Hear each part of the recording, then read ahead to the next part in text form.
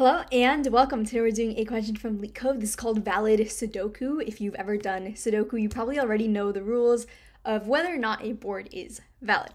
So basically we want to determine if a 9x9 Sudoku board is valid. Only the filled cells need to be validated according to the following rules. Number one, each row must contain digits 1 through 9 without repetition. Two, each column must contain the digits 1 through 9 without repetition. And three, each of the nine 3 by 3 subblocks of the grid must also contain digits 1 through 9 without repetition.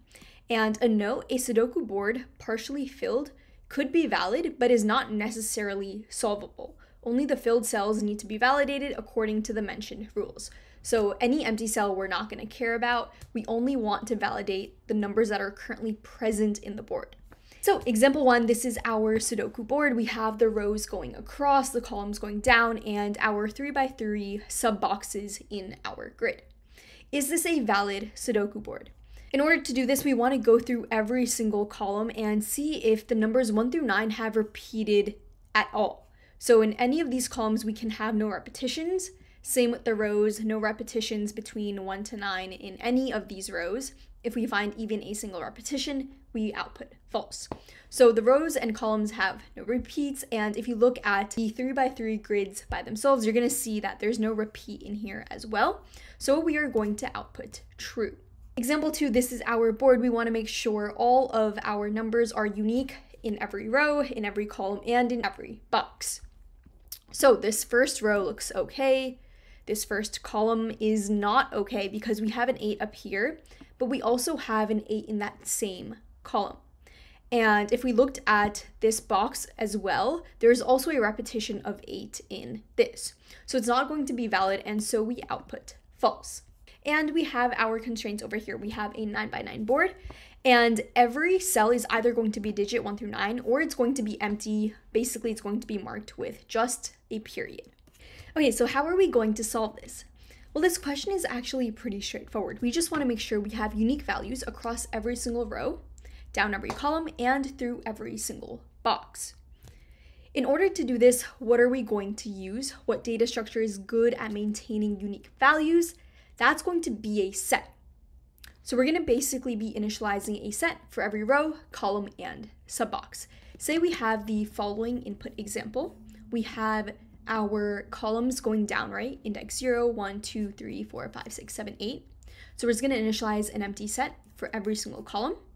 We're going to do the same exact thing for our rows.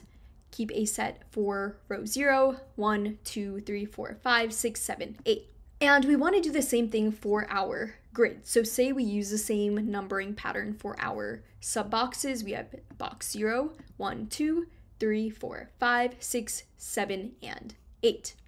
Now, the only little part that we need to think about is how we're actually going to assign every single cell to a particular subbox. Well, let's think about this, right? We know we want to divide our boxes into threes going across and going down. So first, thinking about going across, right? If we look at row zero, we have indices for our columns going zero to eight. If we want to separate this into threes, what we can do is just integer divide by 3, right? 0 to 2, anything in this range, integer divided by 3 would be 0. 3 to 5, integer dividing that by 3 would be 1. 3 goes into 3 once, 3 goes into 4 once, 3 also goes into 5 just once. So everything here would be 1. And 6 to 8, integer dividing that by 3 would be 2. So anything in here would be 2. So basically we have our board sort of split into thirds right now, right? We have 0, 1, and 2, but we actually wanted 9 boxes in total. This box alone should have been 0, 1, 2, 3, 4, 5, and 6, 7, and 8. So how do we actually do this? Well, if you notice, right, this is going to be 0, 1, 2. This is also just 0, 1, 2 offset by 3. If we add 3 to 0, we get 3. Add 3 to 1, we get 4. Add 3 to 2, we get 5. So we can make the same divisions across our rows as well. If we were to integer divide 0, 1, 2 by 3, we would get 0. So we're not offsetting this by anything over here. But if we were to integer divide 3, 4, 5 by 3, we would get 1. So there's going to be one offset of 3 for these boxes. So basically, we're going to take whatever row index we have, integer divide that by 3, and then multiply that number by 3. So 1 times 3 is 3. So we're going to be offsetting these cells by 3. Now, if we do the same thing for our last row over here, right, 6, 7, 8, integer dividing that by 3 is going to give us 2.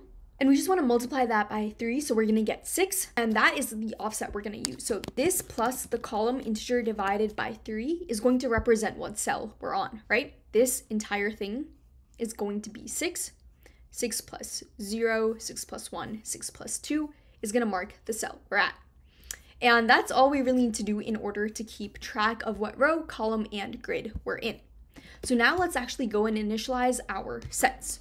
So rows is going to be the empty set for every index that we have in rows. So for index in range 9. Same with our columns. It's going to be the empty set in range 9. And same with our grids. So grid is going to be set for the empty in range 9. So we have a set for every row, every column, and every grid.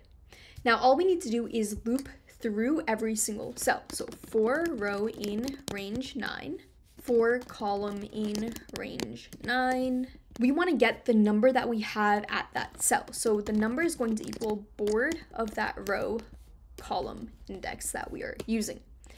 Now we have one of two options. That number could be 1 through 9, be a digit, or it could be a dot, in which case we don't really need to check anything. So if number equals the period, we continue out of our for loop.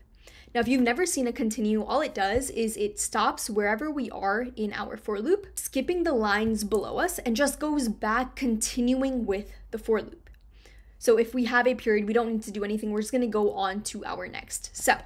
If it's not a period, if it is a number, we want to make sure it's unique across all three criteria.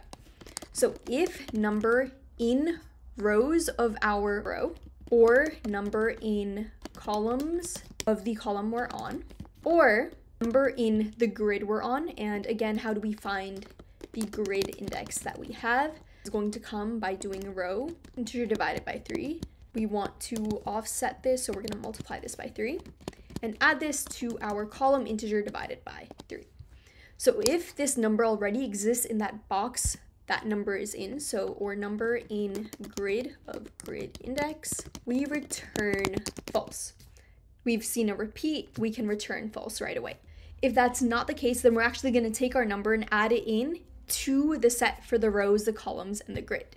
So rows of row dot add this number columns of column dot add number and grid of grid index dot add number. And if we finish looping through everything without returning false, that means we've never seen a repeat and we can actually return true. So let's go ahead and submit this. And it is accepted. Now talking about space and time complexity. For space, we are keeping track of a set for every single row, column, and grid. But we are constrained, right? We know for a fact we are given a 9 by 9 Sudoku board. So this is actually going to be constant O of 1. We're only ever going to have nine sets for our rows, nine for a column, and nine for our grid. It's never going to exceed that no matter what input we get.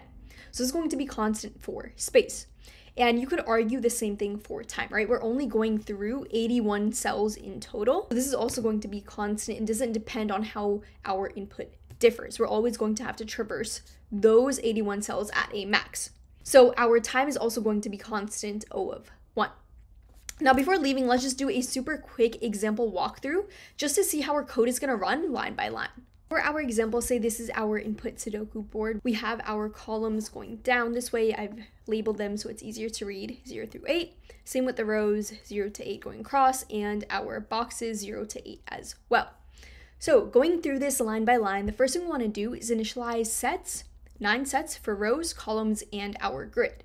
So this is going to look like the following, right? We have a list of empty sets, nine of them in our rows list, the same thing for column, and same thing for our grid. Now, going in this for loop, for row in range 9, for column in range 9, a row is going to start off with index 0, and column is also going to start off at index 0. Now, what number do we have at index 0, 0 in our board? Well, that number is 1 over here. So our number is 1. We make a check. If number equals period, we continue. That's not true, so we're not going to go in this if condition. And instead, we're going to find out what grid index we're on. So our grid index is going to be row integer divided by 3 times 3. Our row is 0, so 0 integer divided by 3 is 0. Multiplying that by 3 is still going to be 0. And to that, we're going to add column integer divided by 3. Column is also 0, so to that, we're just going to add 0. Basically, our grid index is going to be 0. We're at this first box over here. And we just want to check if this number exists in our row index, column index, or grid index. So if number, if 1 in rows of row, row is 0, so rows of index 0 is this set over here. 1 does not exist here, and num also does not exist in our 0th column index or our 0th grid index. So we don't return false. Instead, we're just going to add our number 1 to our rows of 0, columns of index 0, and grid of index 0. So all these sets just have the number 1 so far. Now going back in this for loop, we go up to column index 1. So what is number at this index over here? It is a period. And we do go in this if condition, right? Number is a period, so we just continue out of this and move up our column index. At this cell, what is our number? So at 0, 2, it's going to be 2. It's not a period, so we don't continue. What is our grid index? 0, integer divided by 3 is 0. Multiplying that by 3 is still 0. And column, integer divided by 3. So 2 integer divided by 3 is also 0, so our grid index remains 0. Now we want to check if 2 exists in the row, column, or grid. So, so far 2 does not exist in our row, right over here. It does not exist in our second column, right over here. And it also doesn't exist in our grid, only one exists there. So we don't return false, instead we update our sets. So rows of 0 is going to have 2, column of index 2 is going to have a 2, and grid of index 0 is also going to have a 2. Going back in this for loop, we are at cell 03, but this is a period, so we know we're going to continue and go on to the next index. So we get over here, same thing, move on. Here, again, there's no number, we move on. Now over here, we do have a number, right? That number is 6. So we're going to see what our grid index is over here. Row is still 0, so 0 integer divided by 3 is 0. Multiplying that by 3 is still 0, which means we're not offsetting it by anything. And what we're doing is column integer divided by 3. The column we're on is 6. Integer divided by 3 is 2. So we are at grid box 2. And we make the same checks. 6 does not exist in row 0, 6 does not exist in column 6, and 6 also does not exist in box 2. So we're going to go ahead and add it in. Going back in this for loop, column is now 7. We're over here. This is a period. We move on. This is also a period. We move on out of the for loop. And there's nothing else for us to go through in our columns over here, which means we're going to be going in this bigger for loop to a new row. So we're now at row 1 over here, and we restart our column loop. So we're at column index 0. So at index 1, 0, right, we have our number 6. Number is not period, so we don't continue. What is our grid index? So our grid index is still 0, right? This makes sense. We're still at this first box. And we make our checks again. Now this is a new row, so of course our row is going to be empty. 6 doesn't exist in there. We are at column 0. 6 has not existed over here as well. And in our grid, we also haven't seen 6 yet. So we're going to go ahead, add it in and go back in our for loop. So we're at this index now, 1, 1. The number in this cell is 6. It's not a period, so we don't continue. Our grid index is going to remain 0. And we make a check if number in rows of row. So number is 6, our row is 1. What do we have at index 1? We have a 6. So since 6 already exists in our set, we're going to return false. We have seen repeats, right? We've seen a 6 here before. And if we had continued on, actually, we also would have noticed 6 also existed in this same grid before as well. So we're going to just output false. This is not a valid Sudoku. So we just went ahead and solved valid Sudoku. If you have any questions, let me know down below in the comments. If this video was helpful, like, comment, share, and subscribe. It really supports the channel. And as always, I will see you in the next one.